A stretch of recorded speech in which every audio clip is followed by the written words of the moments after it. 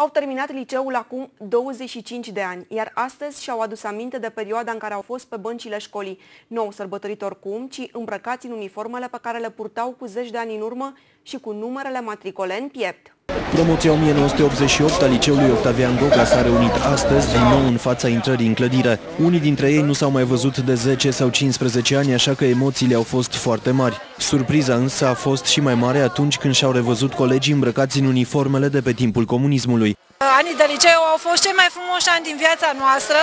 Am vrut să-i retrăim acum și eu am venit la școală.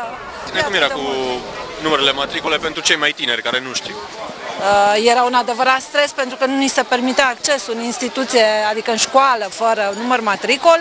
Cordelus, iară, era un alt stres. Uniforma era compusă din cordeluța care și acum mă strânge și atunci mă strângea, da?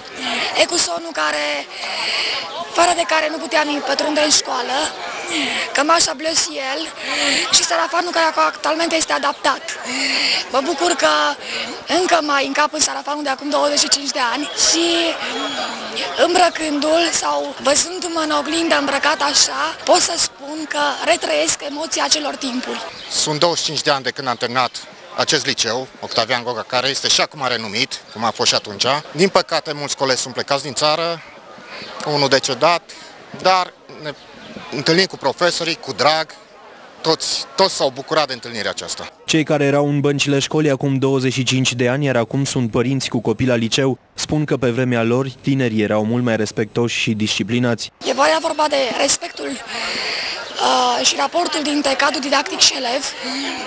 Era vorba de disciplina din școală, care acum lasă de dorit. Bineînțeles, nu existau manicuri și alte alea, nici inele, nici alte minuni, dar erau cei mai frumoși ani.